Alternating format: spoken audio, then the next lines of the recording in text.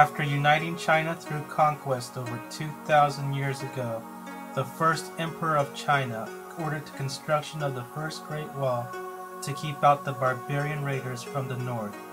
The original wall was made out of tamped earth, without an outer brick cladding.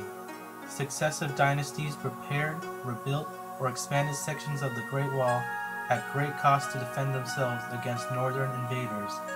The wall eventually failed when the Mongolians, led by Genghis Khan, invaded from the north.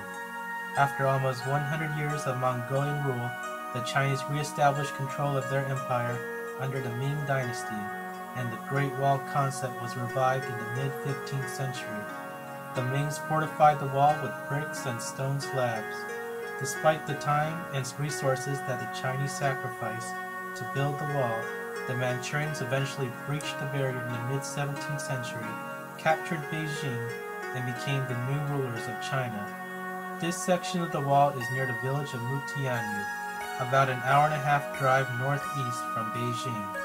This part was originally built in the mid-6th century and rebuilt in 1569 with granite.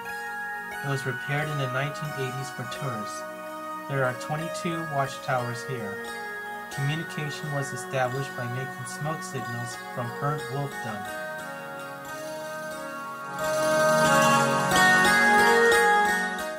The toboggan is the fun way to get off the wall.